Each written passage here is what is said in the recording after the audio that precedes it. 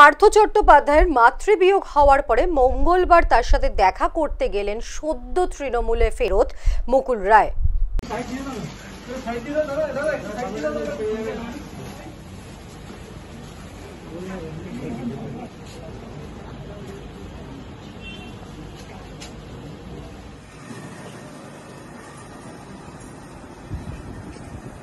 তো করোনি। ফোন তো সেদিন কথা বললাম তো তোমার সাথে তখনই ফোন করার দরকার আছে কি তোমার এখানে আসতে গেলে আমার ফোন করে আসতে হবে।